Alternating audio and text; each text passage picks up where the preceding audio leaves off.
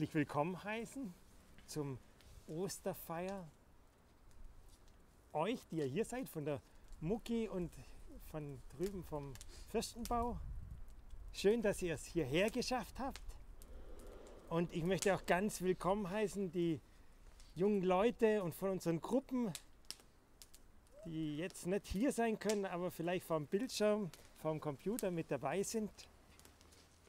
Wir haben hier ein schönes Feuer brennen. Ein Feuer, das Licht bringt im Dunkel der Nacht. Wir feiern Ostern.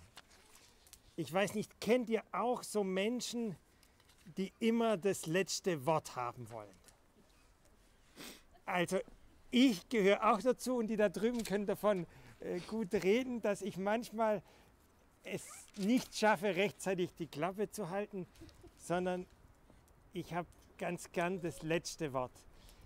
Wenn man schon das Munzeln mitkriegt, dann wissen wir, dass oft das letzte Wort zu haben von den anderen nicht so toll ersichtlich wird.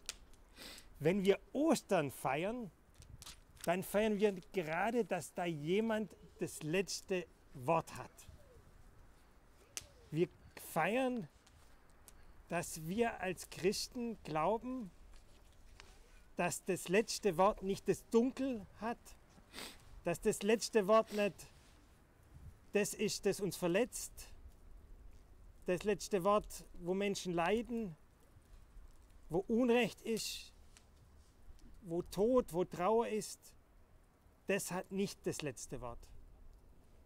Und wenn wir auf die Geschichte Jesu schauen, ist er im Tod ganz ja, ge gequält worden am Kreuz, getötet worden. Und wir als Christen haben die Gewissheit, Gott hat sich da offenbart, und das feiern wir heute, dass der Tod, dass das Böse nicht das letzte Wort hat. Und deswegen hat heute das letzte Wort zu haben was ganz Positives. Und damit es so ist, damit uns das bewusst wird, wird in der Osternacht ein Feuer angezündet.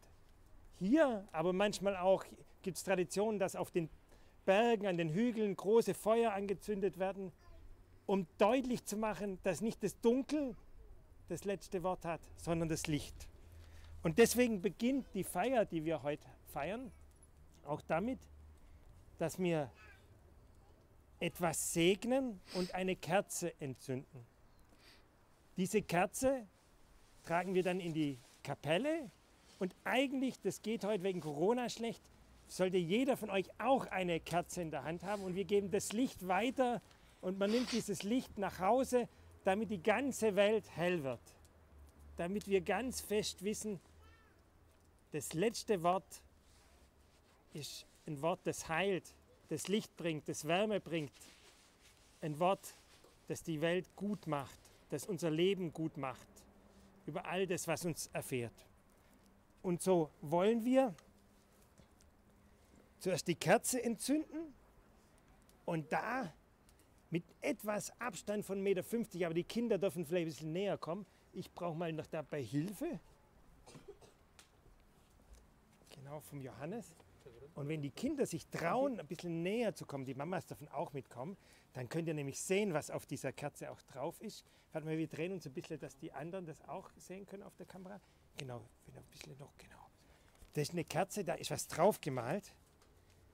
Und wir beginnen mit einem kleinen Gebet. Herr Jesus Christus, du hast durch deinen Sohn, durch Jesus Christus, Licht in diese Welt gebracht. Du hast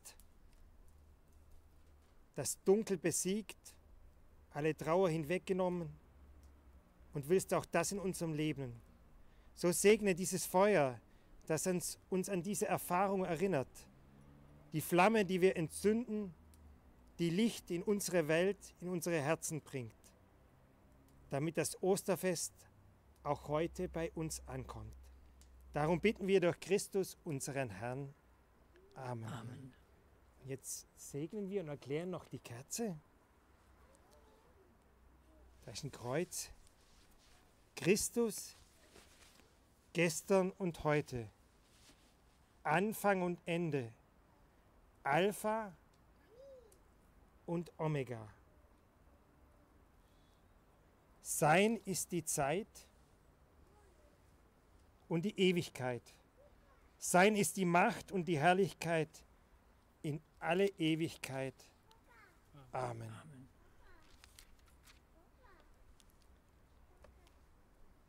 Und normal hat ein Kreuz auch die Wundmale.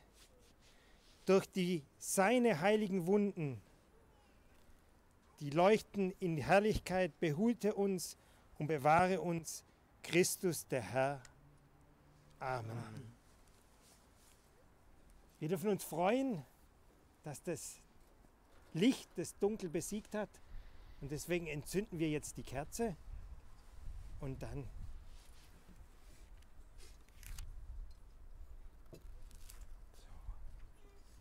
Wir schauen, ob wir das hinbekommen.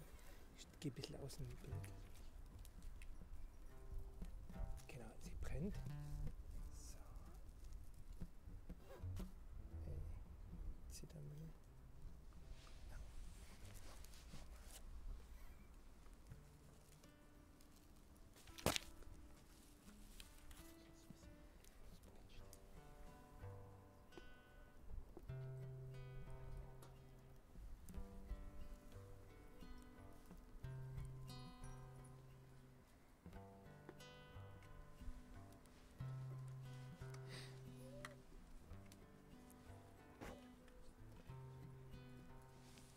Weil wir keine Kerze in die Gruppen und zu euch bringen kommen, wollen wir so kleine Osterkörbchen euch geben und die wollen wir jetzt noch segnen.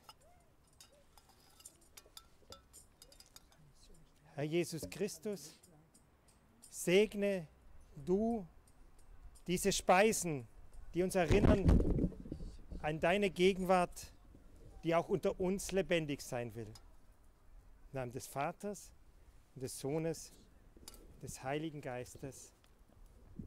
Amen. Die Muckis dürfen jetzt schon von hier nehmen und genau. Verteilst du vielleicht die? Und für alle, die von draußen als Gruppen dabei sind, wir bringen morgen die Osterkörbe zu euch und singen, zünden jetzt nochmal die Kerze an und singen ein Lied, nämlich der Jubelruf, den man an Ostern immer singt.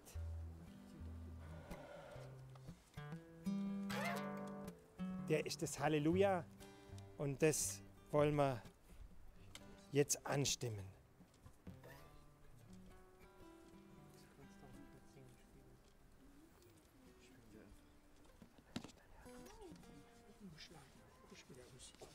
Schon wieder aus. So wollen wir den Jubelruf singen. 452.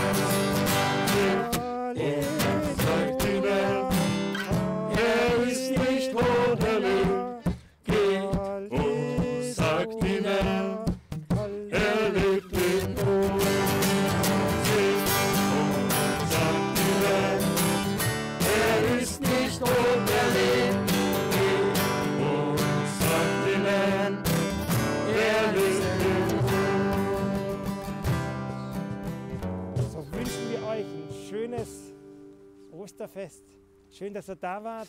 Schön, dass ihr zugeschaut habt. Und bis morgen draußen, wo wir die Osterkörbe vorbeibringen. Und wir sehen uns ja auf dem Gelände. Und jetzt könnt ihr nochmal ans Osterfeuer auch gehen. Mit Abstand. Aber die Kinder können zumindest ein bisschen anschauen.